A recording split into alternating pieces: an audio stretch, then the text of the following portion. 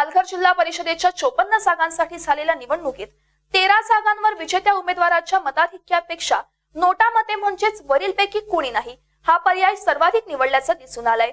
त्यामुळे या सर्व ठिकाणी विजयात नोटा मतांचा महत्त्वपूर्ण सहभाग राहिलाय. जिल्ह्यात तलवाडा विक्रमगड येथे सर्वात अटीतटीची लढत होऊन शिवसेनेच्या भारती कांबळी या अवघ्या सात मतांच्या फरकाने निवडून आल्यात. अनुसूचित जमाती स्त्रियांकरता राखीव मतदारसंघात शिवसेनेच्या उमेदवाराच्या सोबत राष्ट्रवादी काँग्रेस मार्क्सवादी कम्युनिस्ट पक्ष आणि भारतीय जनता पार्टी उमेदवारांमध्ये चौरंगी आणि अतिदतीची लढत झाली.